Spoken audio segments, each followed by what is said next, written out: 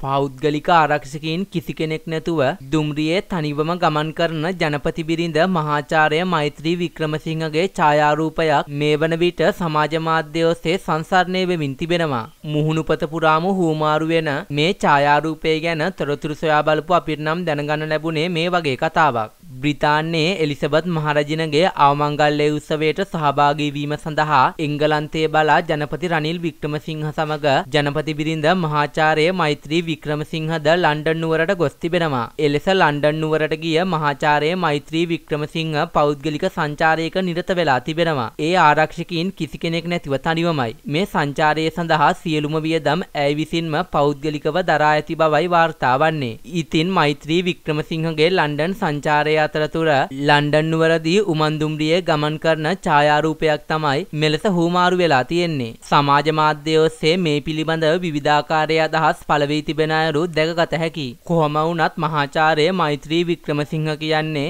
ලංකාවේ බොහෝ දෙනෙක් ආදරය කරන නිහතමානී සහ සරල චාම් කාන්තාවක්.